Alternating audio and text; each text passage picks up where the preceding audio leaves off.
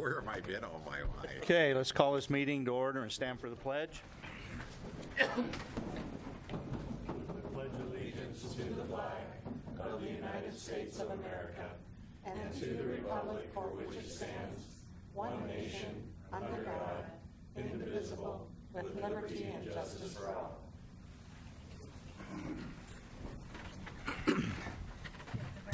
Roll call. Honorable Mayor Ron Shaver, Here. Councilmember David Fowler, Here. Doug Shasso, Here. Allison Howe, Here. Clint Anderson. Here. Lisa Northrup. Here. Kevin Lindell. Present. Okay. First meeting of the new year. First item on our agenda is approval of the minutes from the December 17th council meeting. Mr. Brennan. Thank you, Your Honor. A draft copy of the December 17th, 2019 regular meeting minutes are provided in your packets and presented for your approval by resolution. Has everybody had a chance to review them? Are there any changes or comments? They look good. Seeing none, I would entertain a resolution. Your Honor, I re- offer a resolution to approve the meeting, the meeting minutes from our last regular city council meeting. Second. Have a resolution by Allison Howe and second by Kevin Lindell. Vote by roll call. That resolution carries unanimously.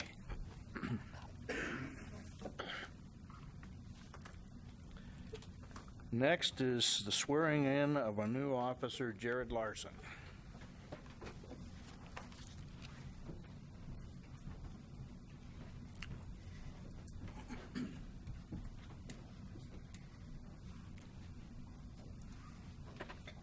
Slow me down if I take it too big a bite, so uh, raise your right hand and repeat after me. I state your name.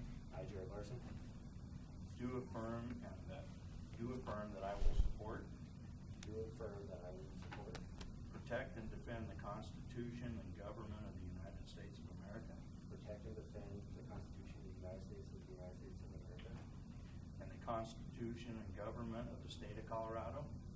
And the government and Constitution of the State of Colorado, against all enemies, against all enemies, whether foreign or domestic, whether foreign or domestic, and that I will bear true faith, and that I will bear true faith, allegiance, and loyalty to the same. allegiance, and loyalty to the same.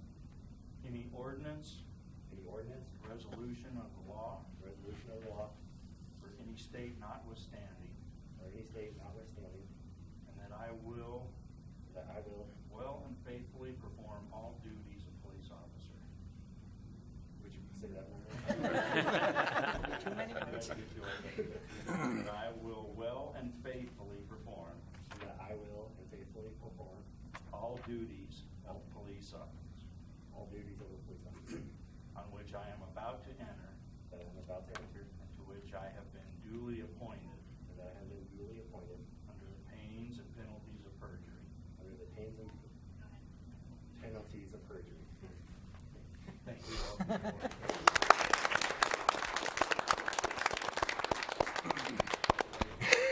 Let me uh, introduce uh, Officer Larson, to everybody.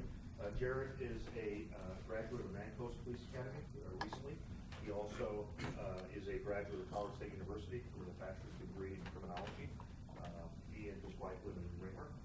We're, uh, Planning to move to Fort Morgan. We're excited about that. And we're very excited to have this and get on board with you. Best of luck. So what I'd like to do, we have a tradition here, is have you decide uh, who you'd like to do your badge. You mentioned to me that you'd like to have your mom do it. Yes. So if she would please step up.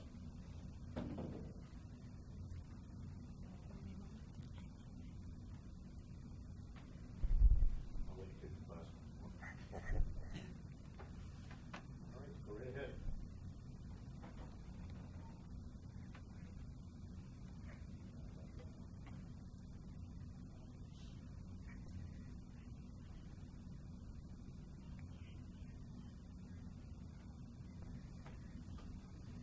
Congratulations.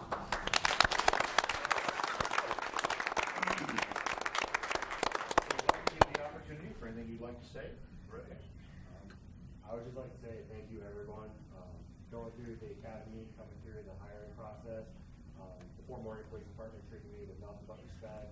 Um, on my short period of time out on the road with my FTO, everyone has been truly, truly, you know, appreciative and very, very respectful to me, and I really respect that, so thank you very much. Wonderful, thank you. Again, congratulations and best of luck.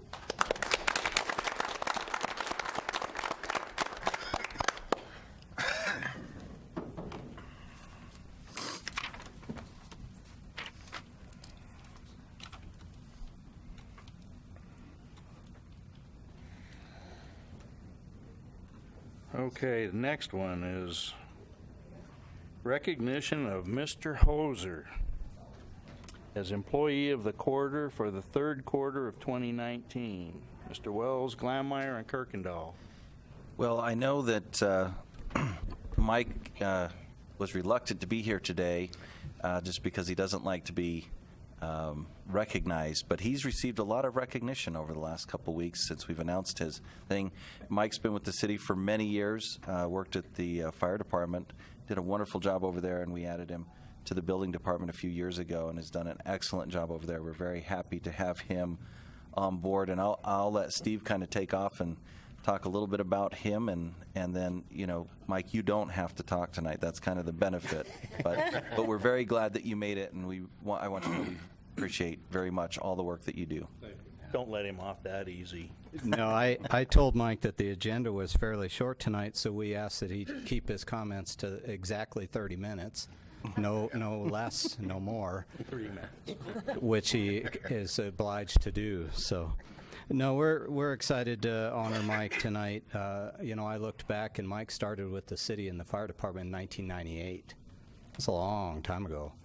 And uh, he was here when I came in the building department, and uh, he was really instrumental in getting me up to speed with, with what was going on in Fort Morgan, and it's taken a lot of time to, to spend with me. And he's a great employee. The contractors love him. They ask for him when, when they come in uh, because they know that they're going to get a straightforward answer and that he's there to help and, and not to hinder projects. So we're pretty excited. We've been beating him up a little over this. We've got a lot of fun things on his door at work, and and we're excited to have him be our employee of the quarter. I know Mike uh, Kirkendall's got them, some things he'd like to say, but I'm just glad to have Mike in my department. So.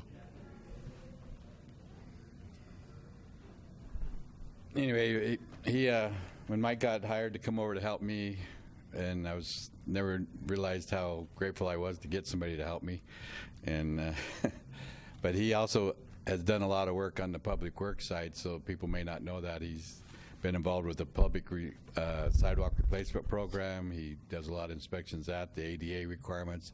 His first baptism working for the city was with uh, Steve's predecessor over at the Baker School uh, new, excuse me, the new middle school when they were doing all of the concrete work on the public right of way.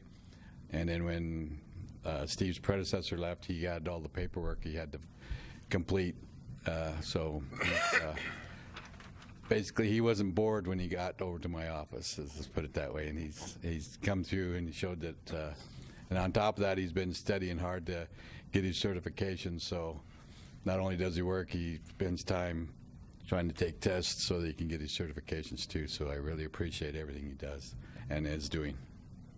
I do got two great bosses. Step up to the mic and say it so everybody can get a picture of it. You know, um, before before Mike sits down, I think one other attribute that, that we have to share with, with the public is his adherence to the city goals of positive communication, um, respect to others, customer service, and, and lead by example. Um, I've seen him go out of his way in his job, outside of his job, uh, to help people at the city, help people within the community that may need something because of a situation that's going on in their life, or just he's just he's there to help. And I think it's great to have somebody that works for the city that really emulates those uh, values in their personal life as well as at work. So if Mike doesn't want to say anything, you want to say anything, Nancy? Thank you guys for taking him off my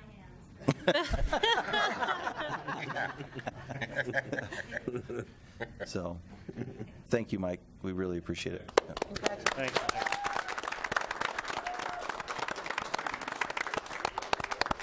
Mike has a lot of fans too.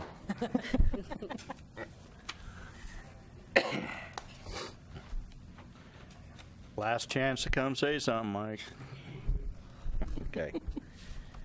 Next is a presentation and possible action on the reappointment of members to the Library Advisory Board. Lisa Northrup. Yes, thank you, Your Honor. Um, We have two applications for reappointment to the Library Advisory Board. The first one is um, Sandra Schmeckley. Sandra, I started out even before I came on council doing library board, and Sandra has been there as long as I can remember. She is an institution and an exceptional attribute to the Library Advisory Board. Um, We also have um, Abigail Patton, who has been, she's been there for a while, but she's looking um, to step back in and continue serving on the library board. These are both ladies that, they embody what it is to be an individual in the community that wants to step out and be part of a board or um, commission within the city. And they, they take great, great, um, what's the I'm looking for, they take even though people may think it's not as big of a deal for something like a library board, they, they're very involved, they're very engaged, and um, they, they bounce back and around, back and forth, who's the president and who's the vice president and who the secretary is, and, you know, they work so well together. It's been a, it's been a pleasure, you know, being their council liaison, you know, for the last couple of years. But with that, I would like to make a, um, uh, motion to reappoint Sandra Schmeckley and Abigail Patterson to the Library Advisory Board. Second.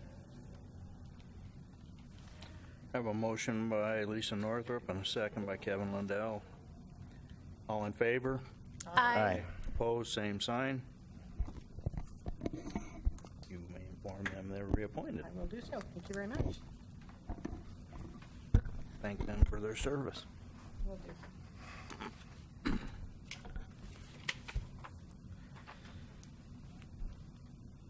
Okay, the next item on the agenda is a public hearing before the city council, before the city council of the city of Fort Morgan, acting as the liquor licensing authority for the city. To determine whether the application for a hotel restaurant liquor license for Peppers LLC is the applicant should be granted or denied. This hearing will be conducted pursuant to the laws of the state of Colorado and ordinances and procedures of the city of Fort Morgan. The purpose of this hearing is to receive information, data, and testimony by any interested parties in order to enable the city to make the findings and reach conclusions required to be made by state law as to whether or not the application should be approved or denied. One of the principal questions the council will be concerned with throughout the hearing will be hearing relates to the reasonable requirements of the neighborhood for the out, outlets applied for and the desires of the inhabitants of that neighborhood with respects to the outlet. Those persons who will be heard during this hearing are parties of interest, who are defined by state law as being the applicant, residents, and neighborhood, and owners or managers of businesses located in the neighborhood. In order for, of this hearing, the order of this hearing will be as follows. At the conclusion of my opening comments, staff will report on the public notice of the hearing, postings of the property, status of fingerprint reports, presentations of the applicant, the application, review of the petition, the applicant will present their case, meaning they will present testimony, exhibits, petitions, and other materials relevant to the application. Interested parties may then testify for or against the proposed application, after which the applicant will have the opportunity for rebuttal. At the conclusion of all testimony, the council will make its decision and approve or deny the application. All testimony will be given under oath by the city clerk. Any exhibits presented during the hearing will be submitted to the city clerk to become part of the record. The city clerk's official files are hereby admitted to the record of this hearing.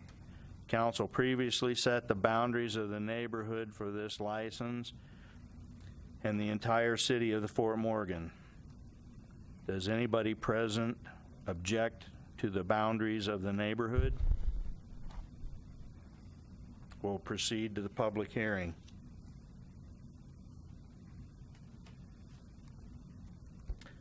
Legal notice, Mr. Brennan. Thank you, Your Honor. Um, This uh, public hearing was noticed to the public by a legal notice in the Fort Morgan Times on December 17th, and also posting of a sign on the actual property for 10 days beginning December 16th.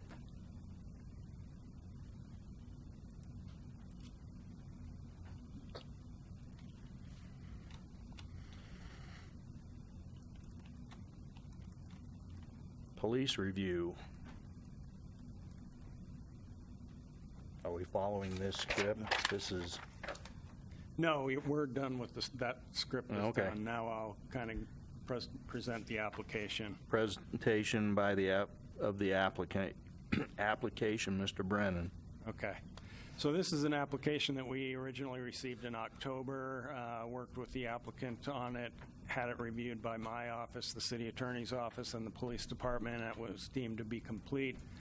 It was brought to the council in uh, December, early December, and we set this public hearing for tonight because of uh, quirk in the calendar. We had to wait a month, so um, I should note that the applicant was asked to be present tonight for, to answer questions, and he is not. I don't know if anybody else representing him might be, but I don't believe so. So uh, the council should be aware of that. Um, Otherwise, his uh, application is complete. All the paperwork appears to be in order. All the fees have been paid and the public notices have been made. And as the uh, opening comments by the mayor made clear, the primary purpose of this hearing is to um, establish what's called needs and desires. And the easiest way to do that is through petitions. There's, petitions aren't required, and there's no set number of signatures that you need but it's easier than asking, you know, a dozen or dozens of people to come to the city council meeting and say they want you to get this liquor license. So he submitted um, 60 signatures, um, which is basically, he filled out all the sheets we gave him. Um, I'm sure he could have gotten more, but um, 29 had to be disqualified because they were not residents of the city. That's not uncommon. A lot of times people don't read the fine print and realize they have to live in the city. So, um, in any case, we haven't received any uh, written or verbal comments either for or against the issuance of the license. Um, I don't believe the restaurant, a hotel and restaurant license, I don't believe the restaurant is operating as yet. Um, But uh, once it's open and um, the premises are completed, then the police department would do an inspection of the premises to make sure everything matched with the application. Um, So basically, that's it, and um, staff recommends that the licensing authority weigh the evidence presented at the hearing, which consists of the petitions, and uh, make an objective decision on the application for a new hotel and restaurant liquor license. Okay. So the next one, I imagine we won't get comments from the No, it applicants. Doesn't look like it.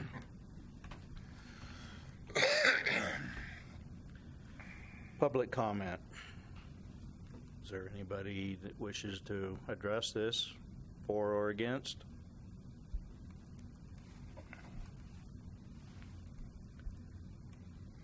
Public comments, oral or written. Mr. Brennan. Uh, None.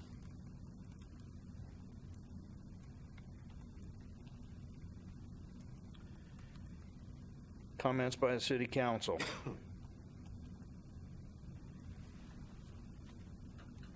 Is it common that we would have somebody come looking for a liquor license prior to having um, a restaurant opened?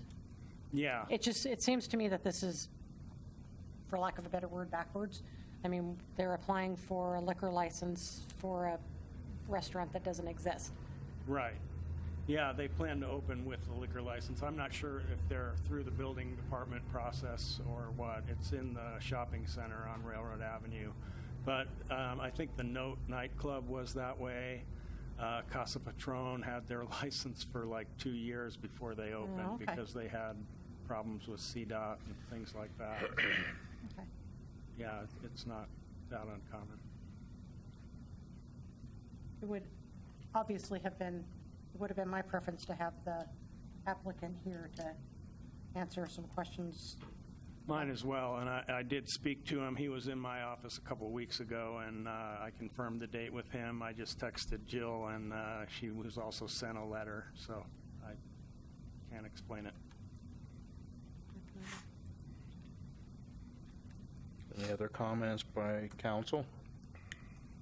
When I, um, I read through it again yesterday, but, um, it's, so it's the same owner group as Bay. It is. Um, and then the report that they have midway through that um, liquor license issues that they've had with that license, correct? Correct. Okay.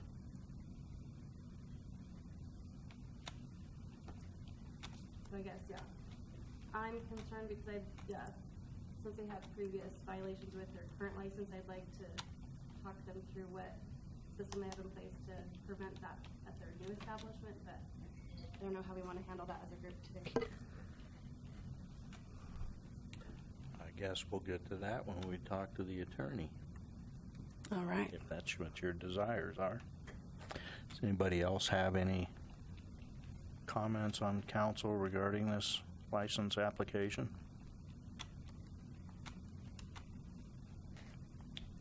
Okay, seeing none, I would entertain a motion to close the public hearing. So, So moved. Second. I have a motion by Lisa Northrup and a second by Clint Anderson. All in favor? Aye. Same sign for opposed. Motion carries. Council action, Mr. Wilson, how would we address council member Howell's concerns? Well, Mayor and Council, I think you have the option to- this evening of taking action on a resolution to approve or not approve uh, this license application, or you, I believe, could defer that action to a subsequent meeting in order to have those questions answered by the applicant. John, do you, Yeah. is there anything, I think they could just continue the public hearing and, um, you know, until he shows up. We can put it on the next agenda and Okay, that works. if you have questions, then I think, you know, they're, they Need should be do- answered, and you can, you can put this thing off to another meeting. is that your desire? That would be my desire, but I'm just one voice, so.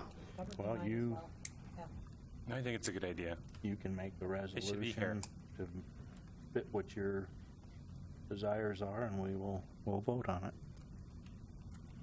But I agree with you. I feel like our responsibility as a local liquor licensing authority is they should be able to come and hang out with us for a little bit so we can um, just make sure that we're clear on our our expectations for preventing underage drinking. So, um, Okay. I would, uh, let you, so yeah, Your Honor, I offer resolution to. Um, do I just move the entire public hearing, or Just continue this agenda item Okay. to um, January 21st. So, yeah, Your Honor, I offer resolution to move this, um, to continue this public hearing to our next um, scheduled reg- regular city council meeting on January 21st. Second. Okay, I have a resolution by Allison Howe, and a second by Lisa Northrup. All in favor, vote by roll call. That resolution carries unanimously. Okay. You'll inform them? Yeah.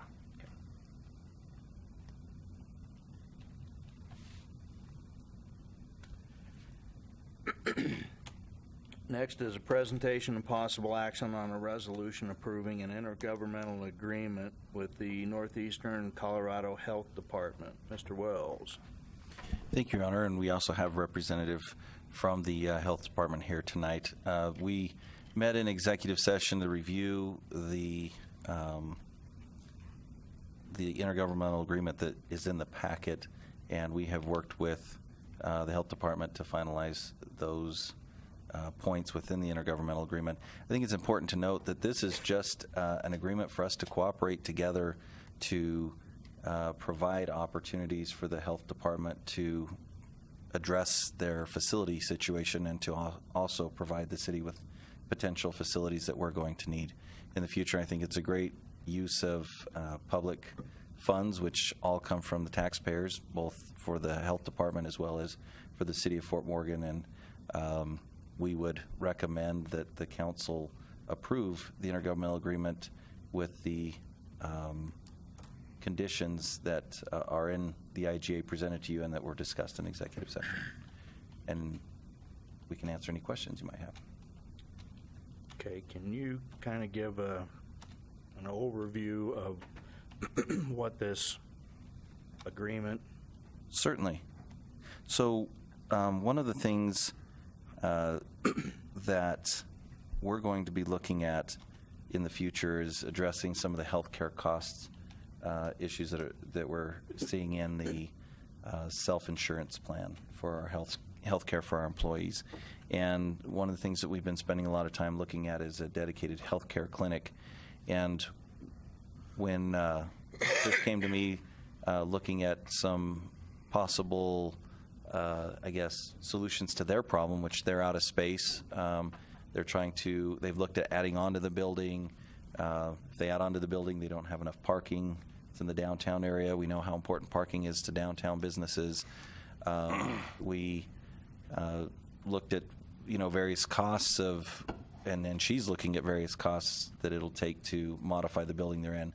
We have this piece of property over in Center Point that's right next to the Banner Clinic, and the Banner, we have several health clinics in that stretch, and so it fits in to that spot from a zoning perspective, and it's kind of an odd little square at the end of uh, that row of clinics along there. It seemed to fit really well. So what we're looking at is uh, providing uh, input and information that they need to determine whether or not it's going to be economically feasible to construct a new building on that lot. Uh, and in exchange for our participation in that, part of this construction will include uh, a standalone clinic for the city of Fort Morgan um, for employees if we decide to go down that road. Uh, What we would agree to is provide the property to Northeast Colorado Health Department and um, the connections for uh, utilities so that they can build it in exchange for facilities that we could use down the road. So that's generally what we're agreeing to at this point.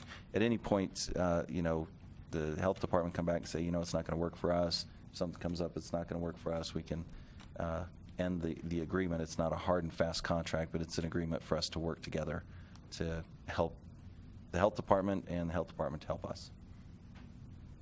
so is this a, as far as the construction on it, is this a city, are we building the building? Are they building the building? Are we helping with the building for the space you're wanting to acquire or?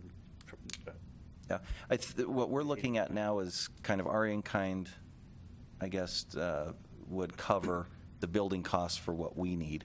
Um, And they would be building it, It would be their building, they would own it, they'd own the property, um, and then we would work out uh, maintenance agreements on, you know, what, what part of the building do we maintain after it's constructed? But uh, my understanding, and I think what we're working towards, is that our donation of the property and the connections to utilities would cover our portion of the cost of construction. Okay, I just asked. Yeah, no, no, it's a good I was question. Quizzed on it or asked, and I didn't have an uh, appropriate answer. No, I, and that's a really good question. Um, but it will be Northeastern Colorado Health Department's building their project, their construction. So this will replace what they're currently in on Rail, Railroad?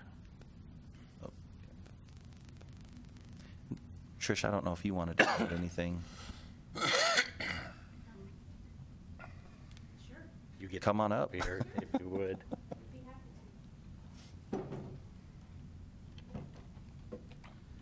Everybody at home wants to hear you. So riveting.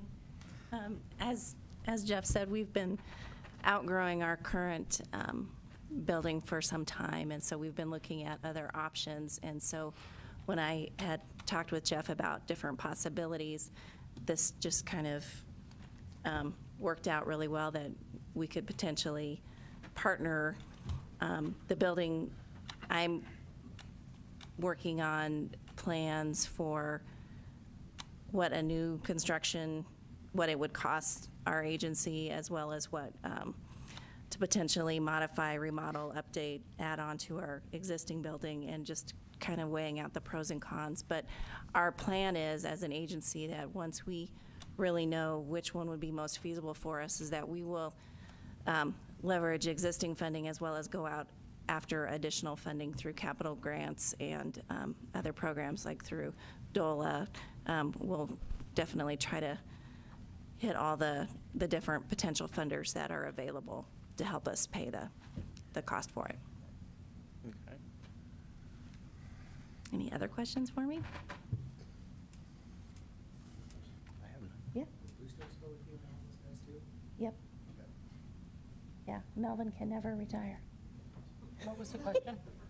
Question? He asked if Bustos would go with us. That is in referring um, to Mel Bustos, who's our um, environmental health manager. And yes, he would have to go with us. Is USDA in that building also? No, they are actually on the same block, but they're farther east. East, okay. Mhm.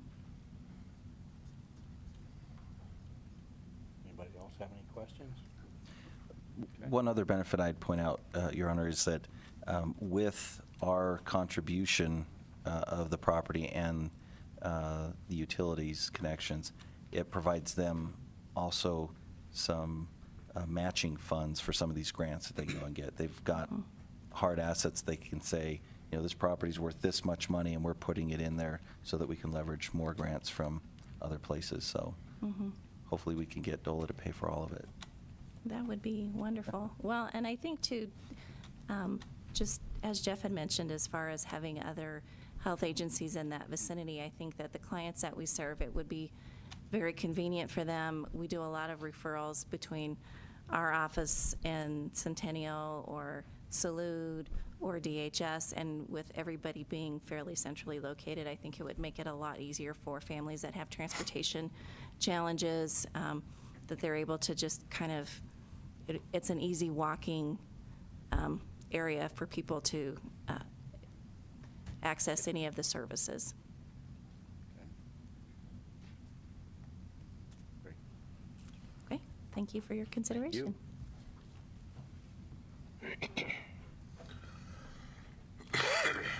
So this is strictly an MOU? Mm-hmm, yeah. Okay.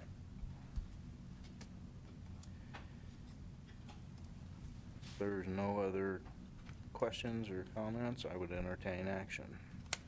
Your Honor, I would offer resolution approving an intergovernmental agreement with the Northeast Colorado Health Department. Second. I have a resolution by Lisa Northrup and a second by Kevin Lindell. Vote by roll call. That resolution carries unanimously.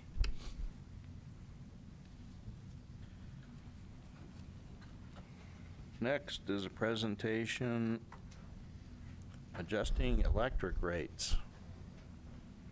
This is either going to be good or bad. Let's make it good. I was going to raise them, but no, you changed my mind. No. Um, We men- appreciate- mentioned this in December that we were in the midst of uh, doing a quick uh, snapshot analysis of our electric fund.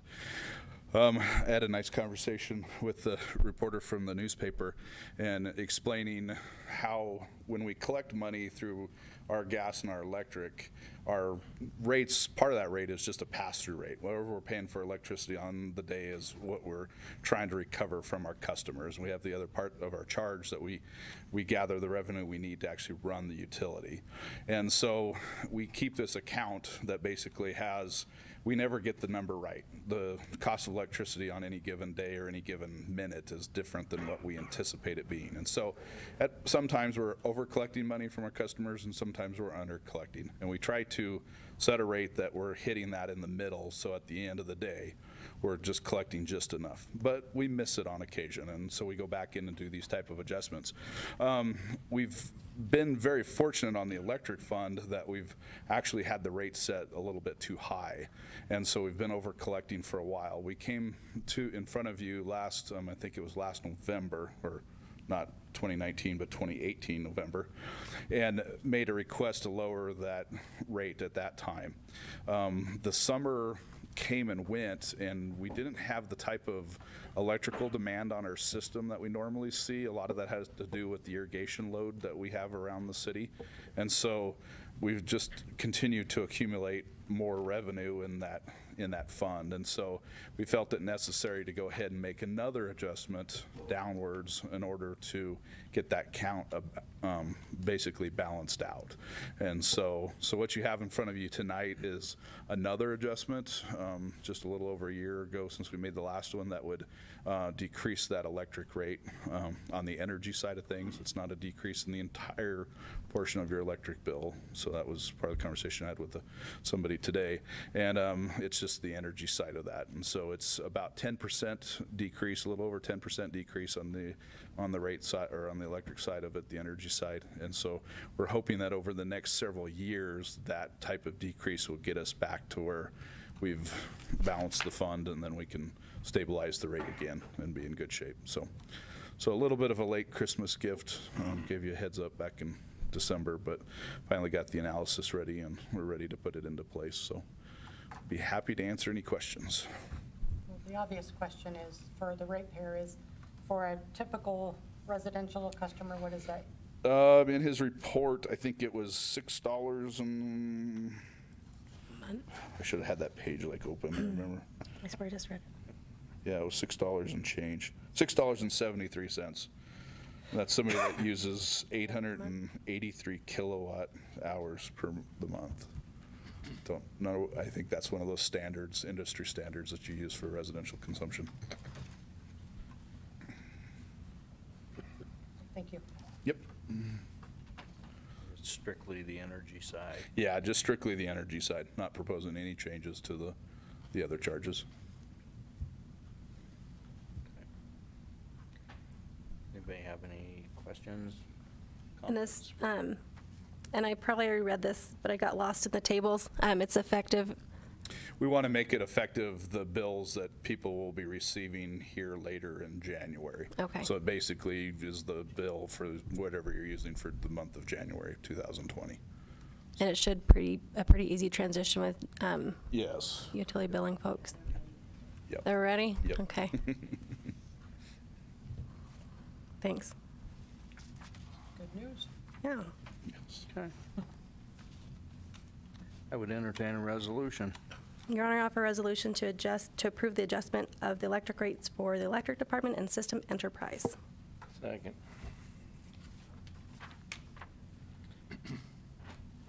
I have a resolution by Allison Howe and a second by Kevin Lindell. Vote by roll call. That resolution carries unanimously. Thank you. Thanks, Brent. Next is presentation on the first reading of an ordinance establishing Center Point design standards and request to schedule a public hearing on the ordinance for January 21st. Uh, Ms. Crossway and Mr. Glanmeyer. Well, we talked about this at the last meeting, um, and you've had the standards in front of you here, so this is first reading of the ordinance.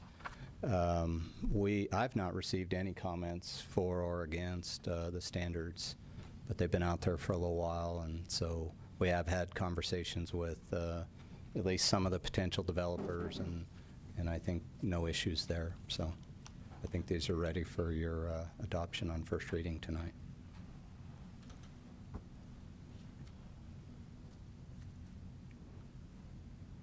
Okay. Any questions or comments? No, I think we talked, when we talked about this the last time, it's, I think it's very forward-thinking for us to be establishing this and getting it set so that we're putting the best possible piece of property out there. and being able to entice more people into wanting to come because of what the area looks like. So I applaud your guys' efforts for putting this together. Something I didn't ask you last time, because I concur, I, and I said that last time, that I thought that, that insight and everything else was, how'd you come up with these?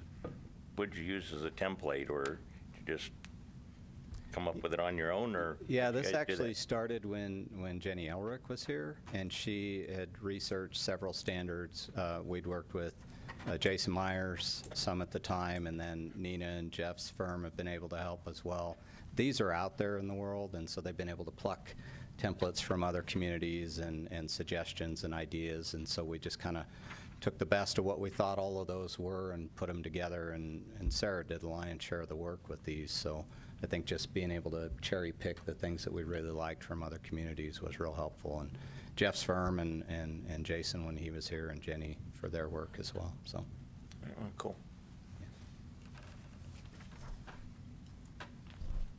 Anyone else? I would entertain a resolution. John, this ordinance number that has the question mark by it, is it 1241 or?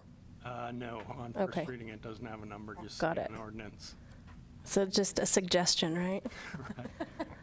Your Honor, I offer resolution um, to accept the first reading of the ordinance establishing Centerpoint design standards and request to schedule the public hearing for January 21st. Second.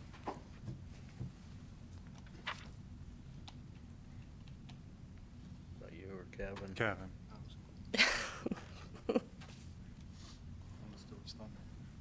I have a resolution by Allison Howe and a second by Kevin Lindell. Vote by roll call. That resolution carries unanimously. All right, thank you all very much. Appreciate it. Thank you. Thanks. A lot of work.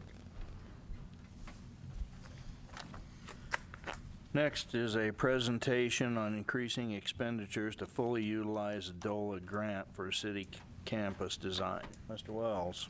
Thank you very much. I appreciate the, Your Honor, for the opportunity to uh, talk a little bit about an opportunity we have uh, to further some of the work that we're doing at the uh, campus, the city center campus, which includes the field house, um, utilities, public works buildings, as well as a potential city hall. One of the things that um,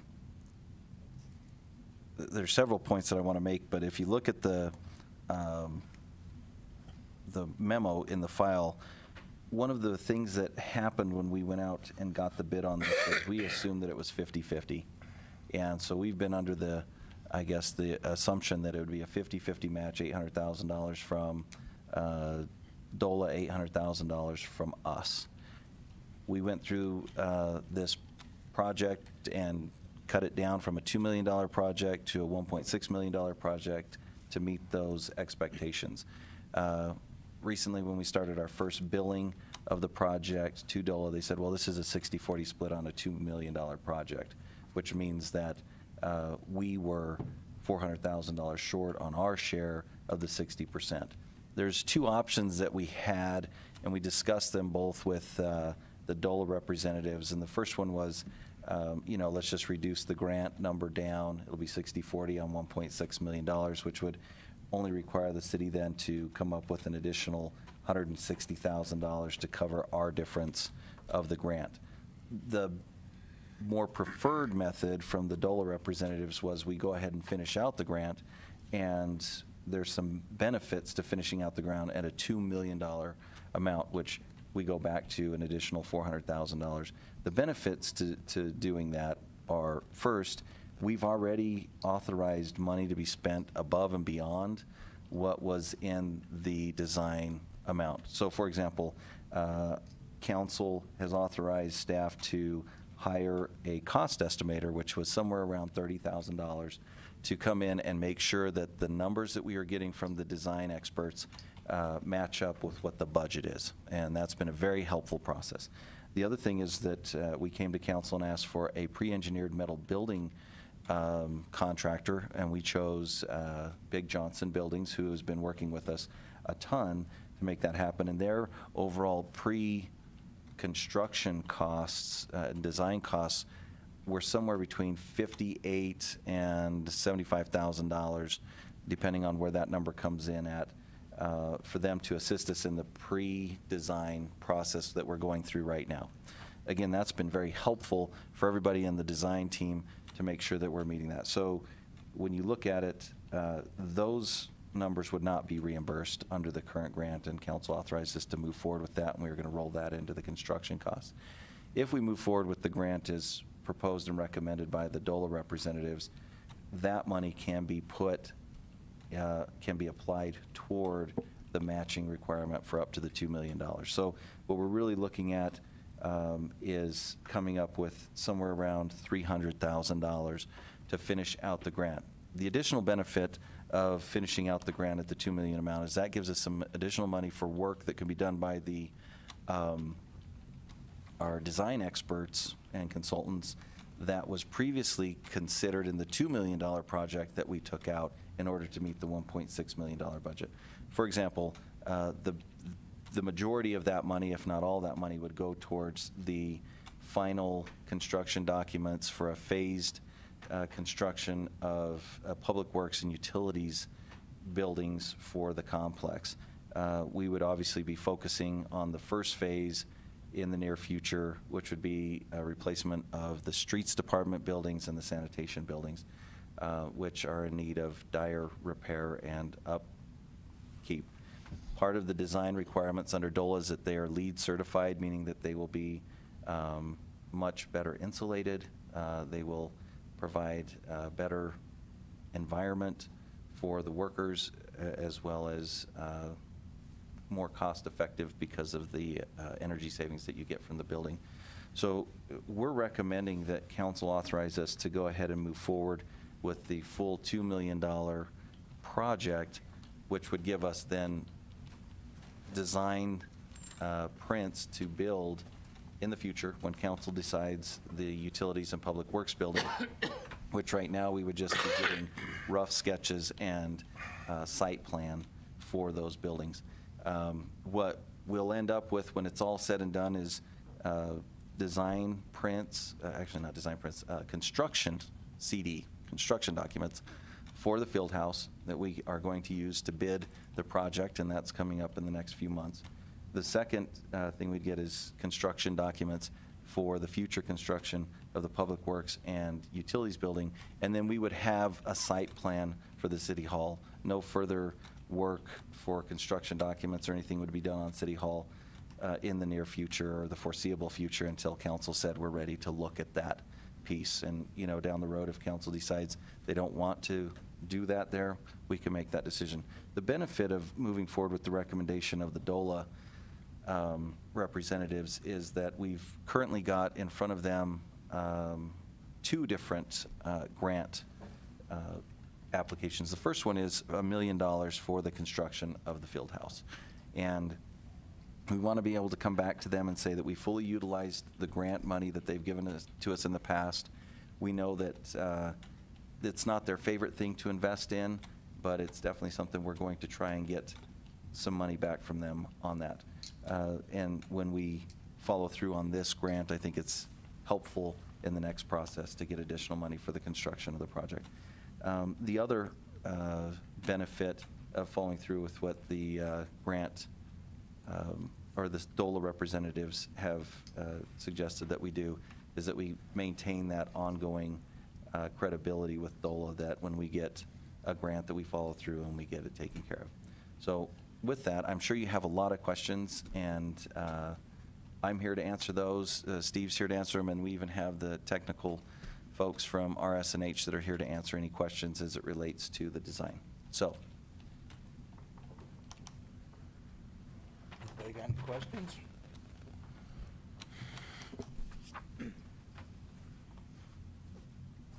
Okay, I got a couple. Um, First off, you stated that the DOLA rep gave us two options. Adjust to what we currently have, which would be 160,000 of ours, or up it to the 2 million, and we pay 400,000 as, a- uh, added to our portion, correct? yes. Okay. So of those two,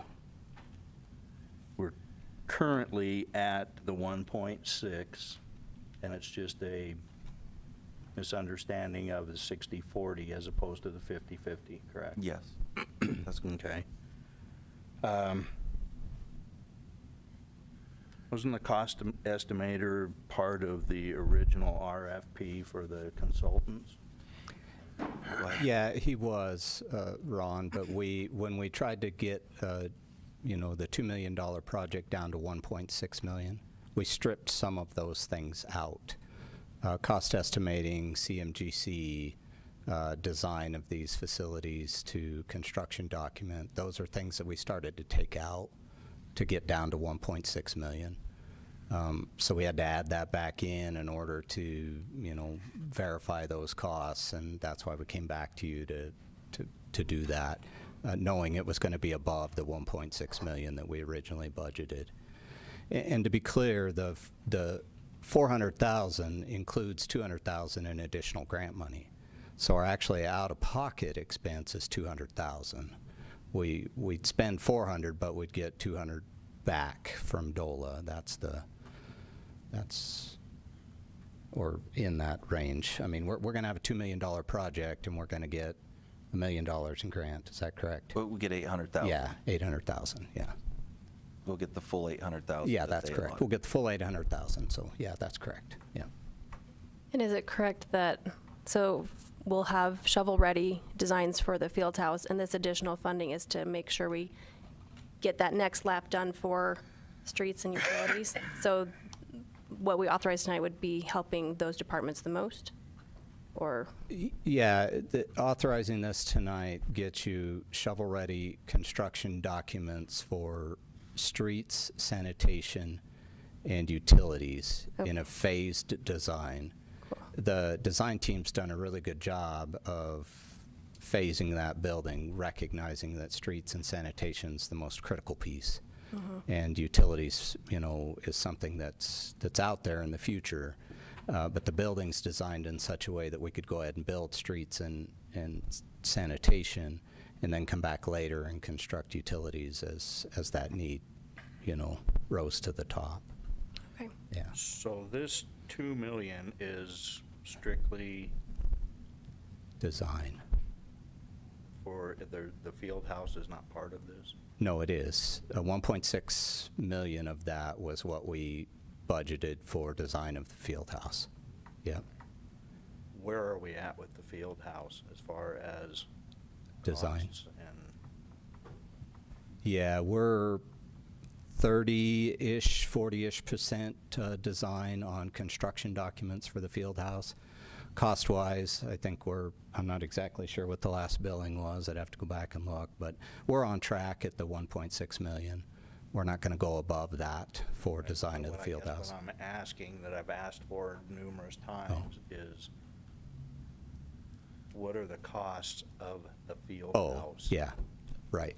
And we're still refining those? 10 million at one time, Yep. and then when it brought back, it was Right. in, in excess of that. And I've, I've had a lot of comments Yeah. from the community regarding that, and Yep.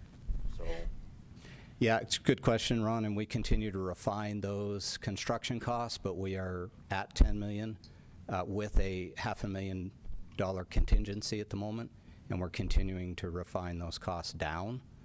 Um, So our last cost estimator had us, you know, right at the $10 million, and that included that half million dollar in contingency.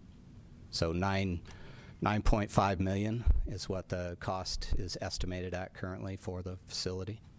That's complete construction of the field house. and the outside improvements, landscaping, road, parking lot, uh, building, um, everything inside except for finishes, fixtures, and equipment. And we're working on those costs as well, but that's not included in the 9.5 million. Okay, does that include the last presentation, we had one portion that was not finished, um, didn't have the flooring, it was just gonna be an open space, is that portion completed, or is that still an incomplete portion of the interior? Yeah, I believe the last cost estimate actually had a floor as an alternate in there. Um, So that's, the 9.5 million wouldn't include the floor in that room, but it is constructed. Um, And so that may be wrong, actually. The floor is. Yeah. Yeah, it would have a concrete floor in it. It just wouldn't have a, an athletic floor in it. Um, so that's, we're continuing to look at those and see if there's some way we can get that athletic floor at least installed in there and, and the equipment, the basketball hoops, if you will, in that room as well. Which serves a purpose. Yeah. And, and the other thing that we plan to do, and we've been talking about this internally, and we've talked to a, a few of the local businesses, is looking at some sponsorships of various parts of the building as well. Um, you know, the gym floor, the wood gym floor for the two courts is, gym floors are extremely expensive. I didn't realize how expensive those things are. Uh, but they're very expensive, and, and they have to be built a certain way, and they have to have certain finishes underneath, and um, and so you know some of the things we're looking at is is determining whether or not we can get local sponsorship to help pay for some of the interior finishes and some of the uh, finish furnishings and finishing uh, when it's all done. Um, but yeah, t- to answer your question, the number that we're we're we've really tied the uh, the consultants to is 10 million is is that is the number uh, that we can and then of course built in with the contingency Yeah. that we hope to come in under part of the process moving forward will be and we actually discussed it a little bit today is going out and looking and getting an RFQ uh, request for qualifications for um, a general contractor to come in at this point and start working on part of the final process of, of the design and then be ready for uh, bids going out here early in, I don't know, about April, May. Yeah, April, May is the idea. Yep. We met as late as 5 o'clock today, and we're looking at still, how can we cut costs on, on the building and identified additional cuts already. Um, You know, these are order magnitude 10,000 to 50,000. So. Point, they're Yep. smaller cuts. Yeah, they are, but, adds, yeah. but, but they definitely are adding up, and we recognize 10 million is 10 million, and, and we're not going to go above that. And if, you know, we, we want to be below 9.5, recognizing we have a half a million dollar contingency for those unforeseen things. Uh, Big Johnson's doing a great job of helping us identify areas that we can cut, but, um, you know, we're continuing to find 100,000 here, 10,000 here, 50,000 here, 7,000 here, and, and they're starting to add up into hundreds of thousands of dollars, and that's, that's helping tremendously. The- you're not cutting by removing Correct. space or Right. utilize, things that would be utilized. Yep. These may be things that are um, sometimes uh, aesthetically pleasing, but uh, we can we can remove those and still have a building at the end of the day, so that when you walk in, you can shoot baskets, right? But it may not. This panel, instead of being this direction, is turned this direction with all the rest of them, and it may not be uh, a, a different type of of color, steel, or something of this nature. It's things like that, or just changing a roof pitch to a different type of pitch that's maybe not as aesthetically pleasing, but certainly keeps the rain out of the building. Um, it's those types of things that I think architectural elements that we can we can remove, but still have a nice building at the end of the day. It really We're does look nice. usa- Usability, I guess. Yep. Clint had brought up Yep. at the last time regarding, you know, this will meet our future needs and carry us. We're not cutting Right. Same, same square footage. Uh, for instance, we removed uh, 70-ish thousand of landscaping. You're taking but we- out jogs and making them Yep. straight walls. Arc- Okay. things like that. Um, the landscaping we, we basically pared down. It's it's going to have a lot of nice landscaping, but but not the full landscape plan that we initially saw. Um, but going to be very nice for for our area for sure. Doubt. Yeah, It will still meet the design standards for Centerpoint? it does. Yes, well, actually, does. that lot is excluded from the design standards. And it has a child watch room. That's very I don't know, didn't I read in those design standards that you couldn't have a certain length of wall That's why that lot's excluded from the it? design standards. Yeah, It did. it does. Correct. Uh-oh. Yep. Those are all good questions, Ron, and I appreciate that because that has been heavy on our mind as well. And, And I thank the design team for spending a lot of time over the holidays uh, looking for additional cuts. Jeff and I had a conversation with them right before the holidays and, and, you know, made it very clear. $10 million is $10 million. It's not 10 million one. And they've done a great job of, of working hard to make sure that we hit that target. So, and just, just to take all that and guess shorten it into, you're asking for four hundred thousand. We've already spent a hundred thousand that we would get reimbursed. And then the grant would match us, reimburse us two hundred thousand. No, I, I misspoke there, Clint. He, Je- Jeff's right. I mean, we have $1.6 million grant, and so the 400,000 does come out of, come out of our pocket. That is correct. I'm sorry that I, I misspoke Oh, on that. okay. But Yeah. we've already spent about a hundred Yep. So we've Yeah, we've already spent about You're looking at 100,000. We need to spend about another 300,000 to, to utilize the full 1.6 million. Yeah, I apologize for that. I cannot keep this straight for some reason. It's just muddied in my mind. Not all of us are So- math.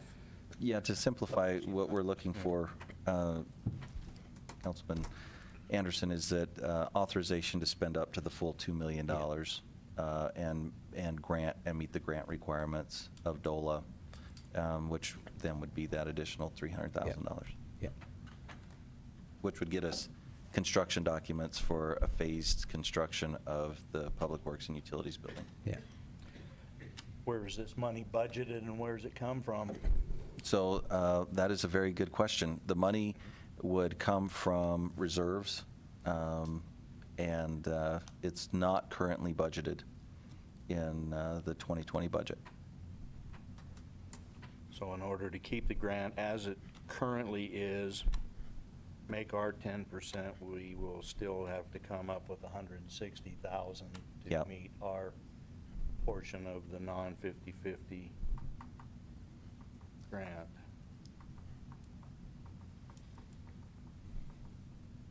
What's the downside if we do the 160 and, and just come up with what our current grant is with the 1.6? From our conversations with the DOLA reps, the downside is that it, the, then they have to go back in and reappropriate how they set up the grant, so they have to put money back in. And that looks like they've had to modify the contract with the city the downside is it looks like we didn't follow through on what our con- contractual requirement was, and when we go and ask for more money, it could potentially be uh, a black mark against us. Um, I'd say that's the downside. The other downside is that in the future, we're going to have to spend that money anyways uh, to get the final construction documents for this building. And we know that if we go out and bid, the final design on this, it's probably going to end up being more expensive because we got to bring the team back, uh, a team comes back on, maybe a new team. Um, We have to rebid the process, and it'll take additional time.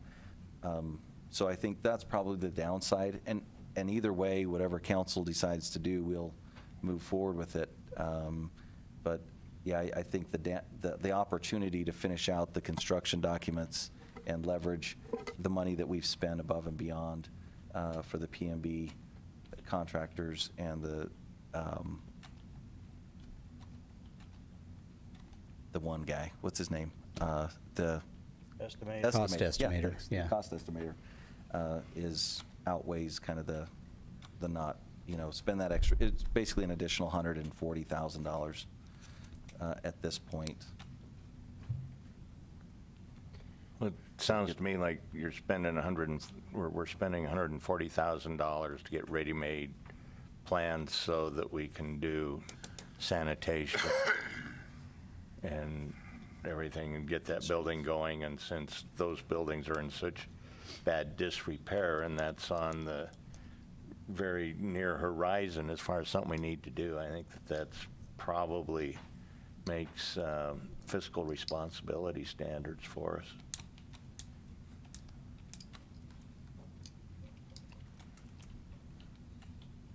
Well, we've already got, we will have partial documents. I mean, they're not read, they're not go-to ready. Right. So, I mean. Right.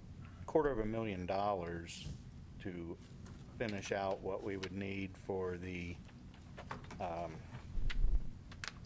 sanitation or street department buildings is, if it costs a quarter of a million dollars for design and upgrading that, then I just, I don't see that part of it. I guess I'm in favor of doing the hundred and sixty, meeting our current grant and moving along with what we have, have there. Um, Just to be clear, it's a design of the entire building, which would include, in the future, water, sewer, electric, and gas offices as well. So it, it is a, it's a big building that encompasses all of those departments in the future.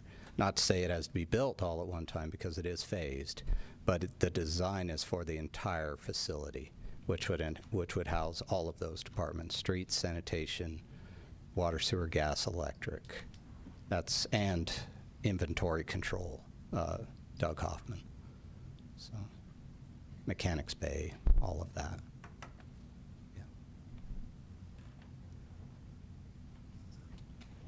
Know, I, I still would like to know what we're gonna do with all the current buildings that, that were, what utilization are we gonna have for those buildings?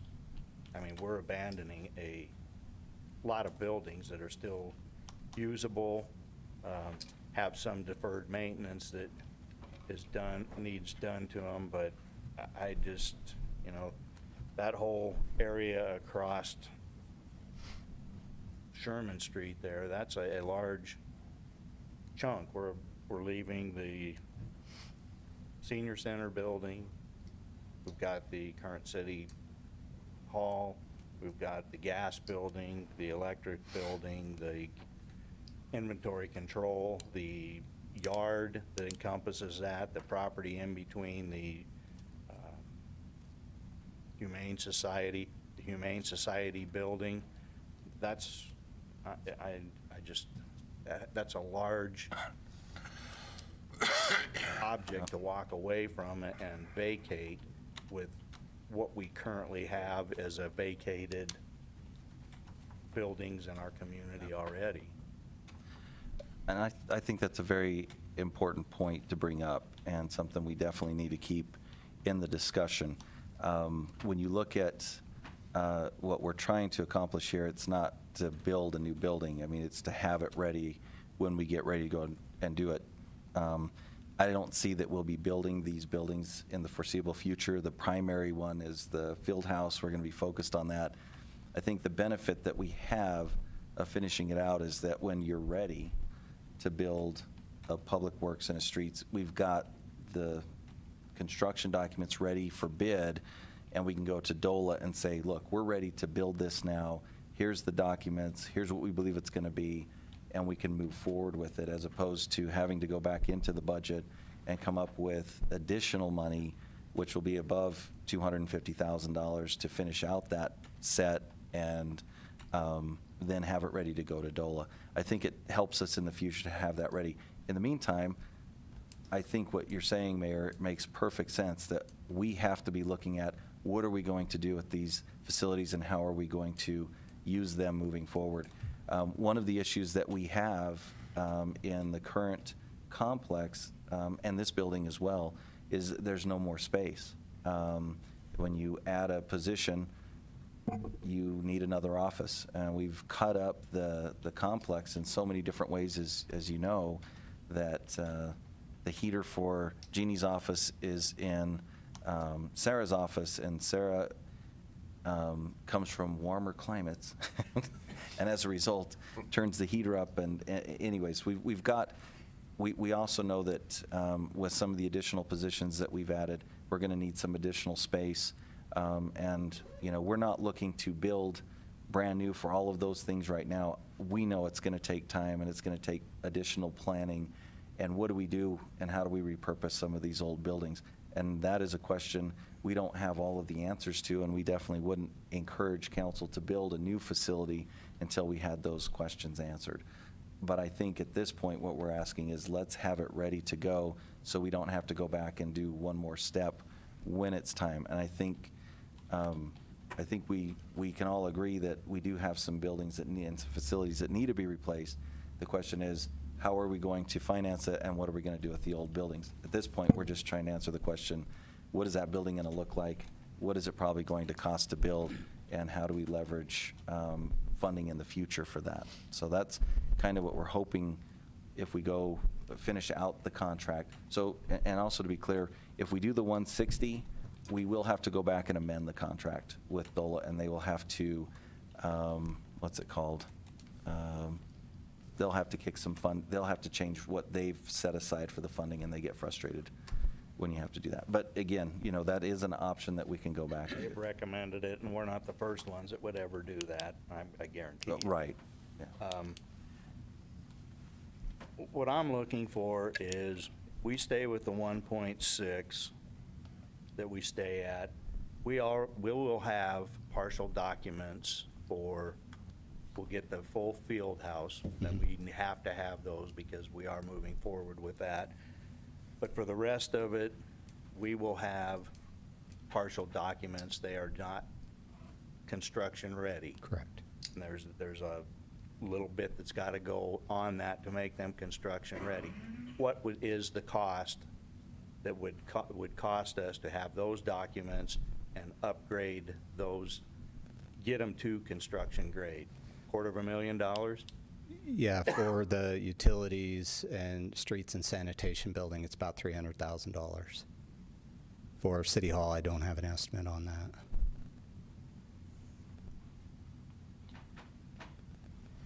Steve, if we were to go this route with the, and, and maybe this is also a question for RS&H, um, if we were to go this route where we uh, modify the DOLA contract, pay the $160,000, do, finish out the field house and, and move forward with that part of the project, and come back in a year or two years and finish out the, the phased uh, Public Works Utility building, what, what would be the cost differential, you think, from spending the, the 300,000 to finish it out now versus in two or three years? Do you think it'll go up, do it go down? Well, it's going to go up in two or three years. Yeah, I'm certain it would go up, but I can't give you an order of magnitude. I have no idea. I don't,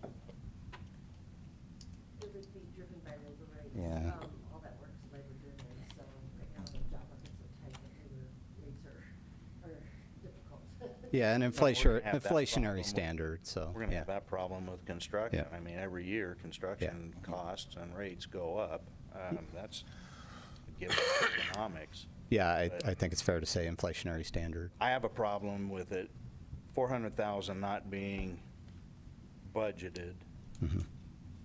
and putting this, this out. I don't see DOLA coming in and restricting us or not giving us grants or, or that. I'm talking with Greg Edel on, over things. I don't see that we're gonna get But you'd say, okay, so it's $400,000 if we want to take full advantage, but it'll really only be 300,000 because we get to include the uh, 100,000 we've already spent. So it's a matter of spending $300,000 and getting completed plans, or spending $160,000 and getting partial plans. So I truly can't believe that somewhere down the line, it's not going to be a magnitude of that extra $140,000 to get those plans completed. Exactly. So, you know, basically, that's what you're talking about, difference between uh, paying 160 or paying 300,000 from what we've already done. It's 400,000. But they said that we'd be able to take the $30,000 from the cost estimator and put that in as money we've already done, plus the other $70,000 we'd spent on what? It's for the pre-engineered metal building For the pre-engineered metal yeah. building. So we've already spent a $100,000 that is already building- there, and we'd be able to apply it against the 400. The pre-engineered building is already not going to be part of this because that's the field house. Well, the engineering, we can, we can apply toward the grant. They, they have some cost with their engineering design that they're doing as well, you know, working with RS&H, and there's a cost to do that. We can apply that to the grant because it's design work. That, that does count. I've been able to work um, a little bit with RS&H as a fly on the wall for a lot of the field house designs, and I just I think they've been really an exceptional partner. Um, and I can't imagine having to um, go back out to bid in the future for something that they've already done a lot of great work on already for um, for the city. Um, and I have a lot of faith in our city staff to have a great transition plan for our current buildings when it's the right time.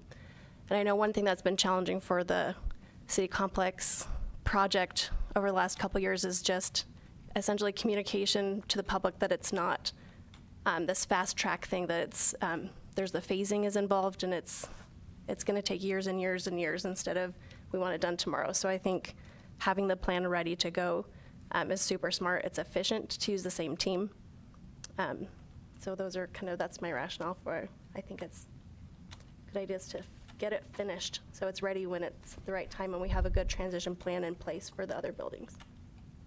I would concur with Councilmember Howe and Councilmember Wendell. I think we would be spending way more taxpayer dollars down the road in a couple of years to revisit this and finish out existing plans when for a, and, and I understand $400,000 isn't a small amount of money, but in the grand scheme of what it will cost us in the future, I think it's, it is advantageous for us to bite the bullet and spend that now out of reserves to have shovel-ready plans.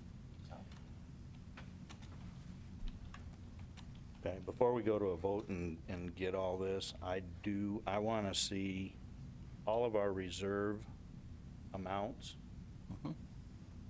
And I would like to have ready for the new council and current council, all of the grants that we have and what they, what we're utilizing them for, what they are in the amounts.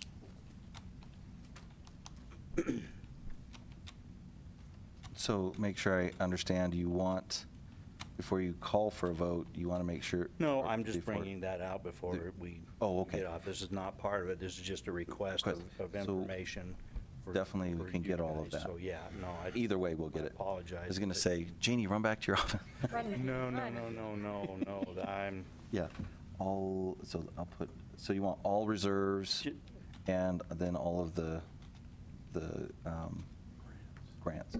Yeah, a Yeah. list of the grants that we have, what they're for, the, how they're administered, and Okay. what, what their uses are. I think that's a really good, and then all the reserves, okay? Because I know you guys are working on, at least from your reports, that you're looking at grant administration and, and Yep. that I think council as a governing body needs to have an, Yes, I an would agree. overview of what all the grants we currently have out there and what they're, And what we're trying to get. No, I think that's a very good request. We'll get that together as soon as possible. the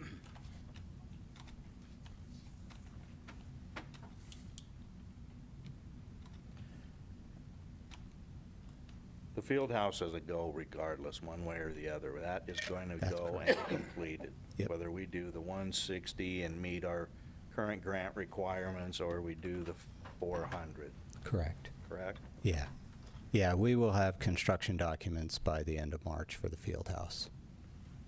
Because I know that question is going to come. Yeah. up in- Out in Yep. public, Yeah, that is, that is well on track to be finished on design so. for under $10 million construction cost, not including fixtures, furnishings, and in- equipment. Those will come later. Yeah. Yep. Yeah. Can I answer any of the questions on my side? Appreciate the opportunity to just come up and help. Really? Yeah, well, sure. I mean, I, I bear some of this burden, so I, I feel obligated and responsible to be up here. so- Well, I just, I had questions Yeah, thrown at fair. me. Um, I've got, I've had questions. Okay, well, thank you all very much. Thank you. Okay, thanks, Steve. Thanks, Steve. Thanks, Jeff.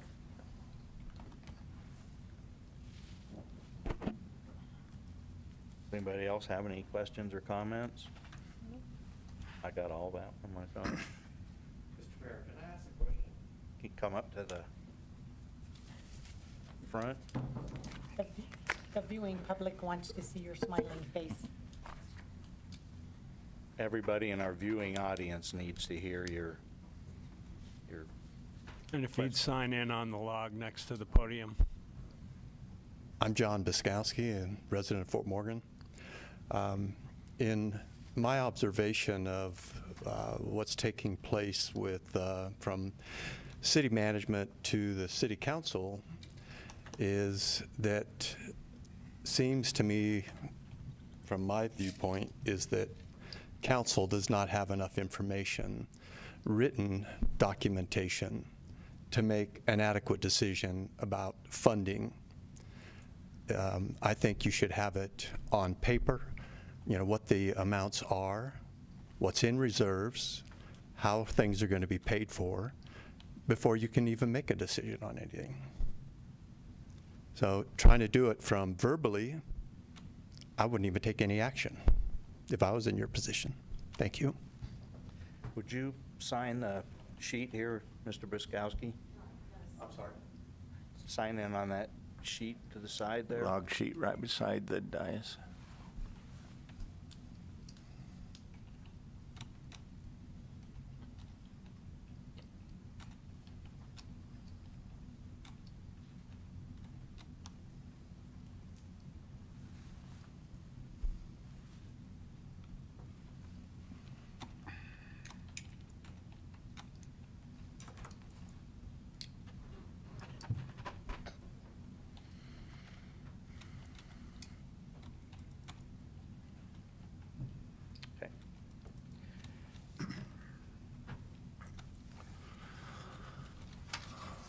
With that, any other questions or comments? No?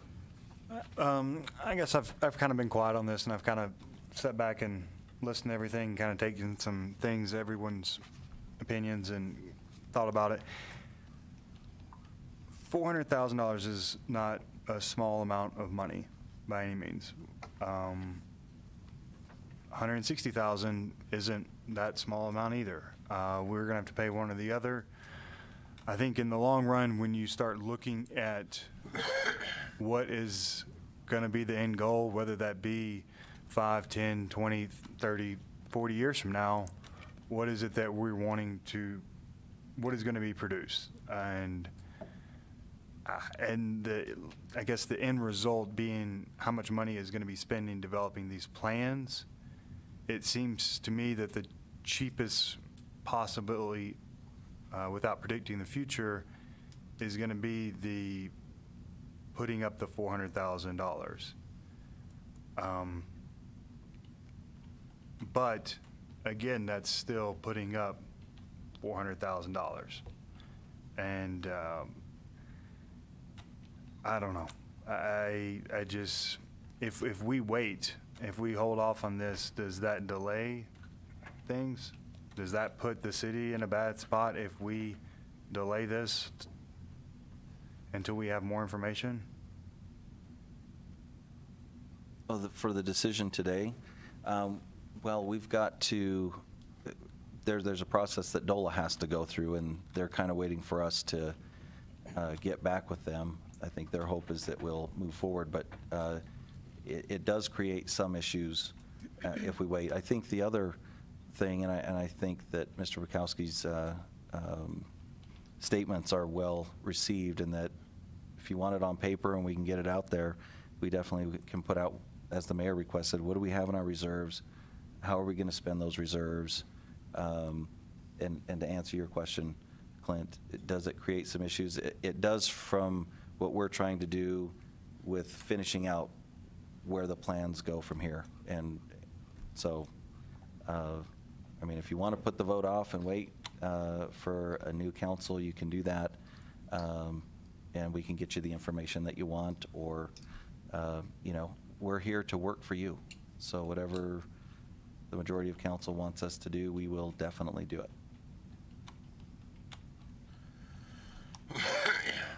Like I said, I know the field house is a, is a given. That is one of our, that's going. It, it will be completed. It's part of what we're, we're dealing with. Streets and sanitation are the secondary side of it. The rest of it is long-term. It's going to be at a minimum three to four years before anything is really done with that. What design standards or code changes come in that time period where you have to go back and redo them anyway.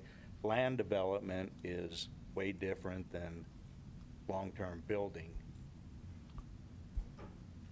development. And I know that from some of my background. Um, You know, so those aspects, that's why I'm, I'm, I'm asking about, we have documents, they are not go-to-bid documents on there, which is fine. We can upgrade them and put a little bit into it and get them to building documents to go out to construction. um, And I just, you know, I just think, three hundred thousand or four hundred thousand dollars for that amount of work is,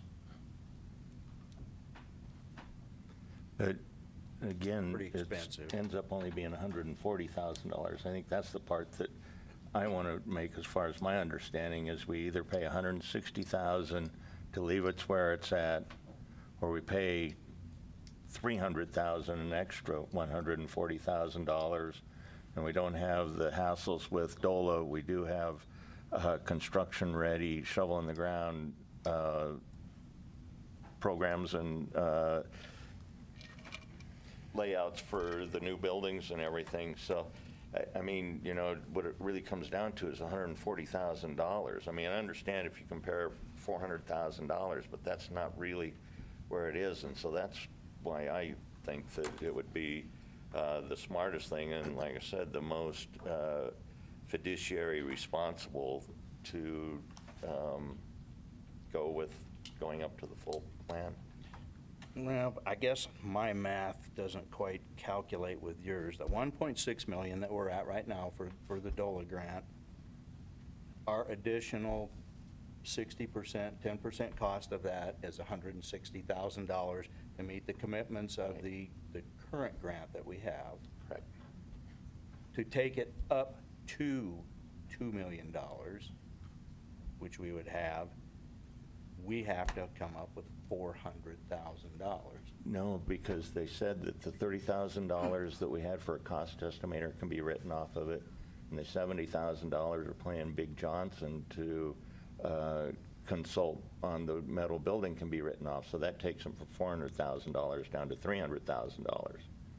And so then when you compare three hundred thousand dollars to hundred and sixty thousand dollars, that's a difference of hundred and forty. Right, because the hundred and sixty thousand is part of the four hundred thousand. I mean, you either pay hundred and sixty thousand or four hundred thousand. So it, it's not like, it's in, in addition to the one point six, it's not five point. Yeah, we have to pay the hundred and sixty no So- matter what. Right, it's To not. stay within the current agreements of our DOLA grant. to stay within the current amount that uh, it's estimated at. But the the grant where 1.6 it's It's not estimated. We have a a DOLA grant, which is $1.6 million, was supposed to be 50/50 match. It's not a 50/50 match, it is 60/40. We have to come up with an additional 160,000 to meet the grant we already have and are utilizing for the field house and, and this current design. So now we're gonna take it up another $400,000. Not another. Two. Jeannie, can you help us out so we So a couple of things. can keep it super too. objective down here? Steve, can you, maybe you can help me also on the contract. Um, The contract with DOLA is a, was originally a $2 million project. We thought it was 50/50, but it was a 60/40, but the contract is still a $2 million project, so we have Right. to modify the contract to $1.6 million, and we would have to come up with the 160,000 for the 60/40 split. Yeah, I believe what will happen if we just keep things the way they are, we'll pay enough to finish out the project because we're not going to get the full 800,000. We're going to get less than that. I don't know what the amount is specifically. Um, but, and so they will deobligate whatever that 40% is that we don't spend and um, reduce essentially the grant from what would have been let's see, it was 800,000. So, yeah, I mean, I just don't. It's a 50/50 match, Wh- 800, it's 800. 60/40 is the problem. It- We thought it was 50/50, but it's 60/40, and so they'll just deobligate what we don't spend. Yeah, whatever that amount is. So what is it that we wouldn't be spending on the 1.6? Well, we'll spend the 1.6. The problem is, is that the original grant was for 2 million. So because we're not spending an additional 400,000, we don't get the full 800,000. So when we submit bills to them, it's at a 60-40 split. So if we submit, you know, a million dollars, they're going to give us uh, 400,000. 400,000 and we'll spend 600,000. So 1.6, whatever that 60/40 is, it's not a full 800,000. That's, that's the challenge that we've run into here.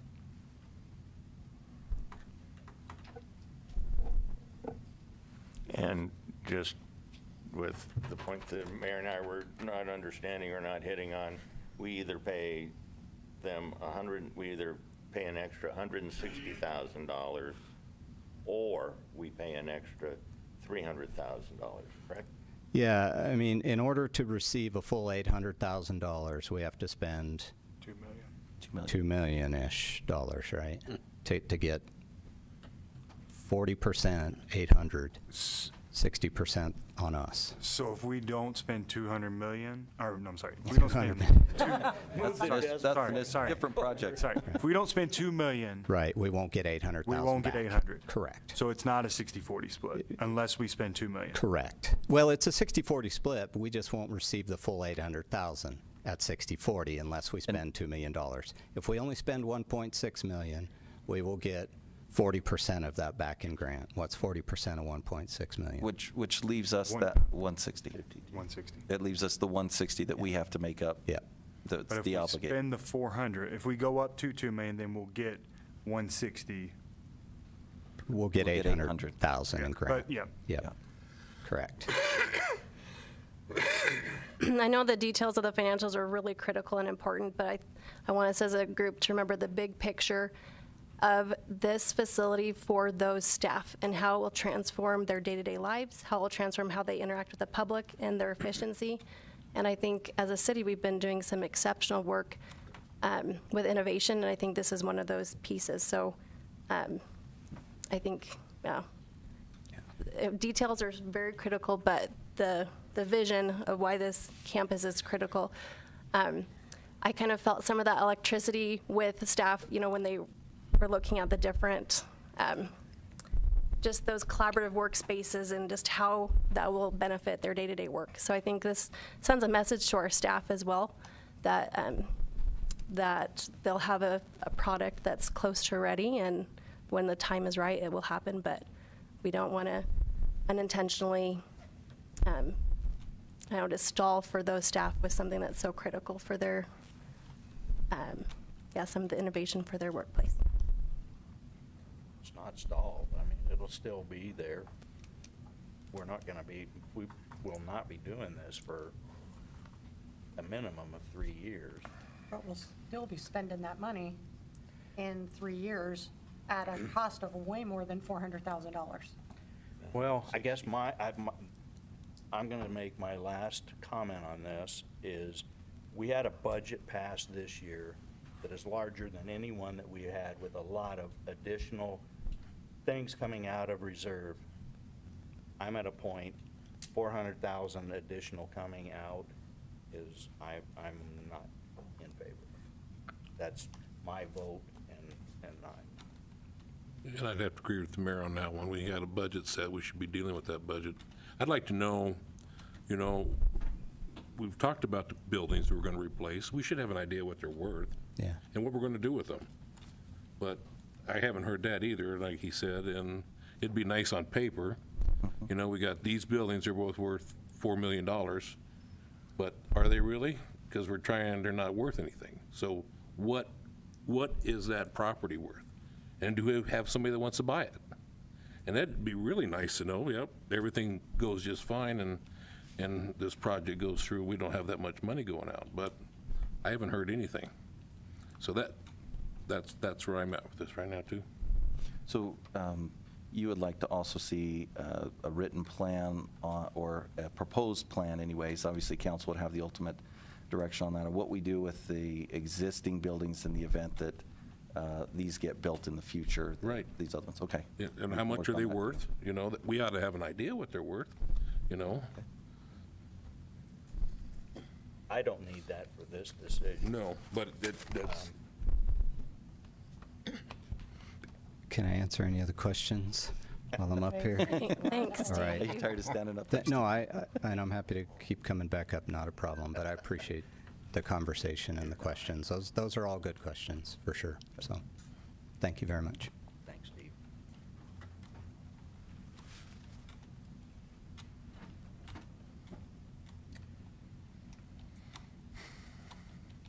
So I would entertain action or conversation or. I would offer a resolution on increasing expenditures to be able to utilize the full $2 million DOLA grant. Second.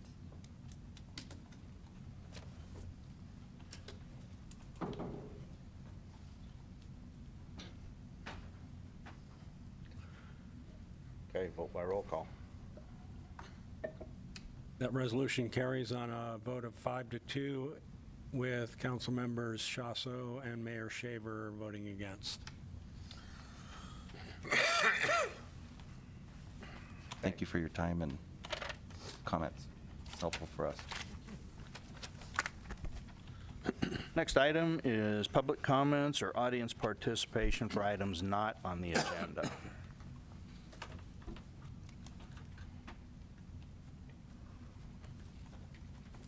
Reports by officials and staff. I think Chief wanted to go first tonight.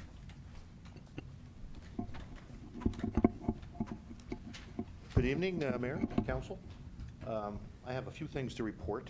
Uh, The first item to report is, uh, as I uh, notified you last week, uh, this is my public announcement, that uh, I'm going to be retiring uh, from the Police Department uh, effective March 31st.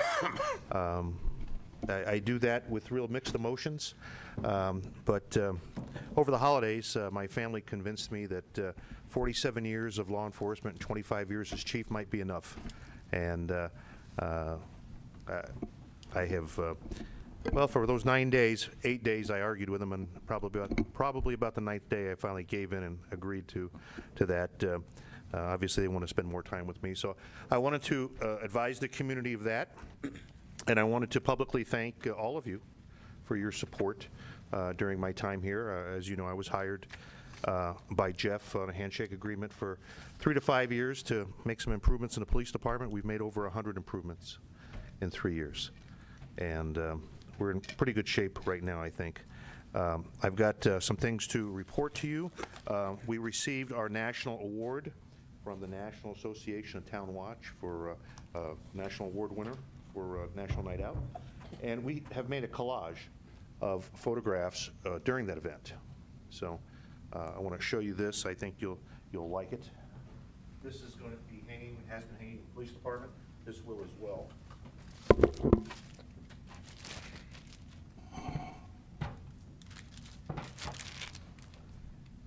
Also, we finished our crime report, uh, 2018 as compared to 2019. Crime is down 24% in Fort Morgan, um, which is uh, very substantial. Um, And one of the first things I'm going to do when I go into retirement is, I like uh, Councilman Shasho's shirt. I'm going to get one just like that.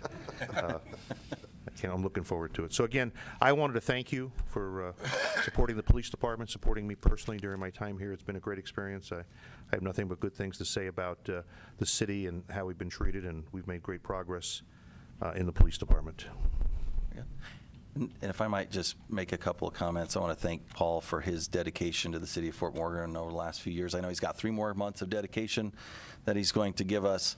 Uh, But, you know, some, some important things, I think, for the council and the public to know about his service here at the city of Fort Morgan is that he has come in with uh, an effort to improve the police department. I think he's done a really good job with that. We see additional programs, uh, community policing, Um, And we see new SRO at the middle school and a lot of other things that have impacted the community in a positive way, not to mention the statistics and the reduction of crime. One statistic that I don't think many people are aware of is that if you take what we've paid Paul over the last three years and compare it to the amount of money and grants that he's been able to provide the city, which doesn't include, I, I may or may not include uh, his influence in getting some of our top uh, leaders in the police department into some of the most, um, I don't know, what would you call it, uh, exquisite or uh, premier uh, training programs in the country. Uh, he he uh, has garnered, uh, I guess, a two to one investment. For every dollar we paid him, he brought in two dollars. And I think when you look at that, he's done an exceptional job. And something I don't think people know about Paul, or he doesn't go out and toot his own horn, so I'll toot it for him, is you know, he is considered uh, an expert in the country as it relates to administration of small to medium-sized police departments. He wrote the handbook that was adopted by International Chiefs of Police Association, and he's on several boards uh, that oversee um, law enforcement agencies throughout the state of Colorado. And I think we've been privileged and very fortunate to have Paul here with us over the last three years. And Paul, uh, best of luck to you. Don't forget where we're at. And uh, again, thank you for all you've done uh, for our community. Thank you. Thanks, Paul. Thank Um, a lot of things going on in the city right now. We're gearing up for, as we were talking about, a big budget this year. And I know that uh, we've had a lot of meetings of things that need to be done, how we're going to get them done, and uh, we're very excited uh, to start moving that direction. Um, a couple of things that are coming up for council. We're going to be working on the uh, 2021 budget calendar.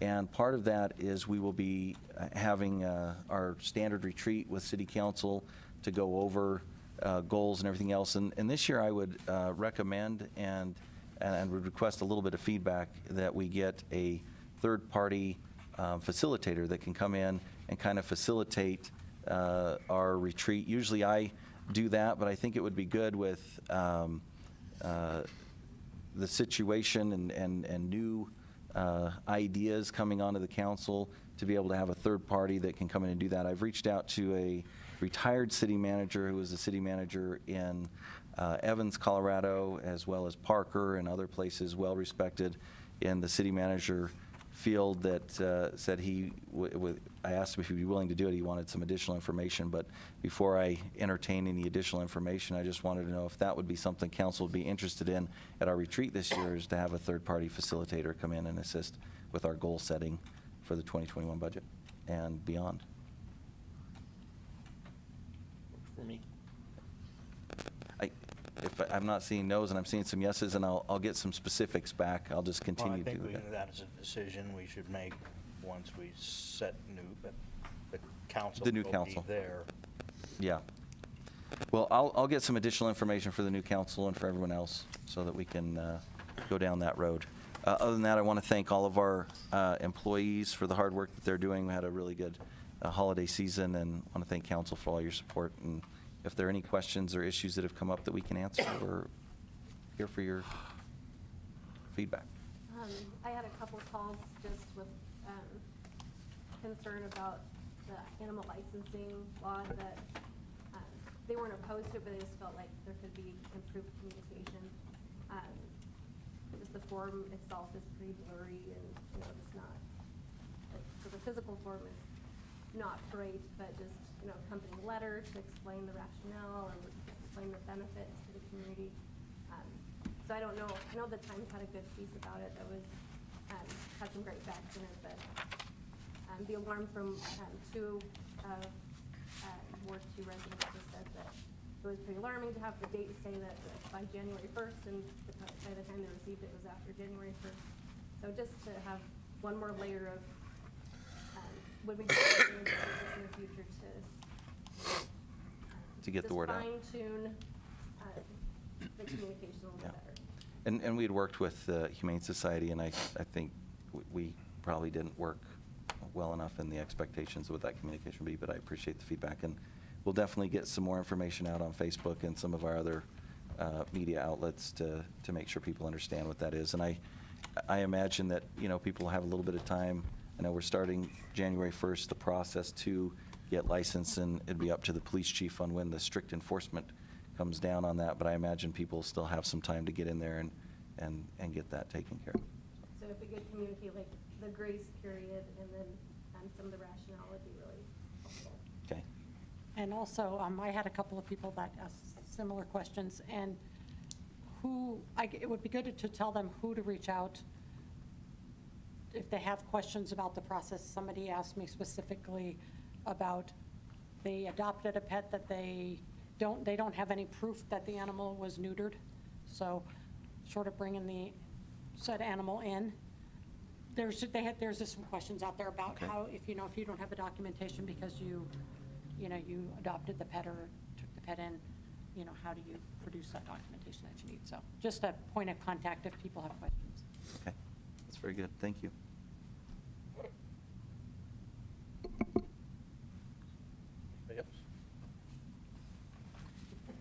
Bids, meetings, and announcements.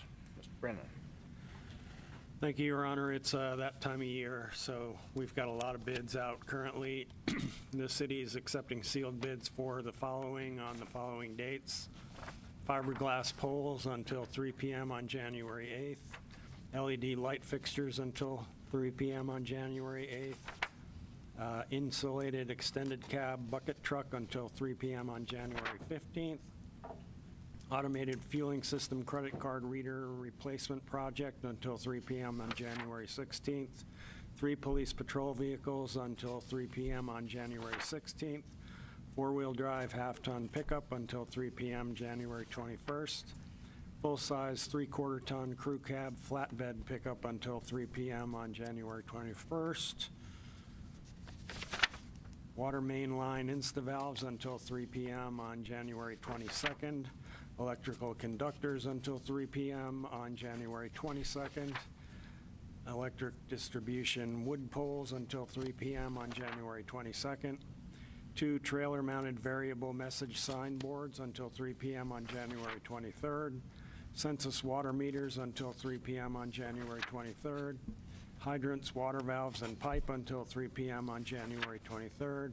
Itron 100W water ERTs until 3 PM on January 23rd. And water main replacement parts until 3 PM on January 23rd. Under meetings, the Airport Advisory Board is scheduled to meet tomorrow at noon at the airport.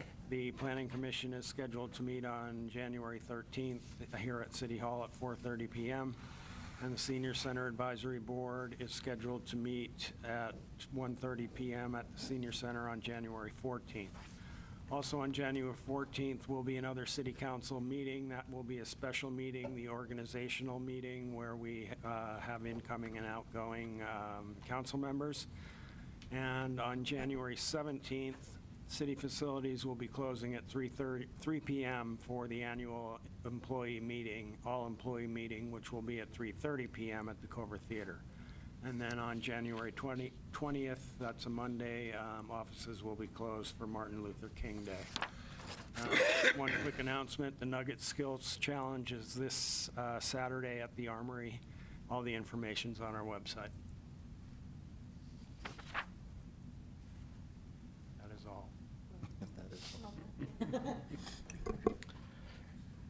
Brent, you'll be busy with bids, it sounds like, through the utilities. Nothing else coming before this council. Meeting's adjourned.